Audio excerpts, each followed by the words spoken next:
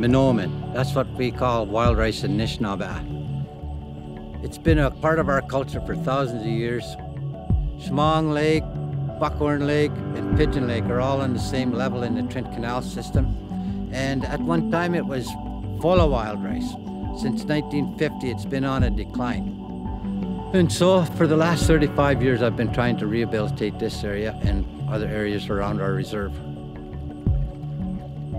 When we got a, a wild rice bed established, we go out in a canoe. The person in the front of the canoe paddles. The person in the back has two sticks, and you gotta paddle carefully and carefully bend the plants over top the canoe, tap the top of the plant, and the ripe seeds will fall off into the canoe. So you do that all day.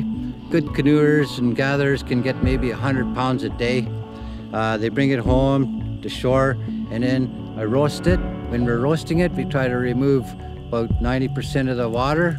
The chaff, we try to get it to the onion skin texture so that when we dance on it, that chaff will break off the, the rice seeds real easy. So when we dance on it, we'll put about 25 pounds in the kettle. We'll uh, put our moccasins on and we try to rub the seeds between our feet and the, in the kettle. We don't try to just jump on it or try to break it. We rub it, move it around and pass it back and forth to each foot. And once it's been danced on, we take a blanket or a birch bark tray and we put some of the danced on seeds because the chaff is still mixed up in it and we flip it up in the wind. We call this winnowing and the wind will blow away the chaff and the dust and the heavier seeds fall back down into the tray or the blanket. Once it's been winnowed, it's ready to cook.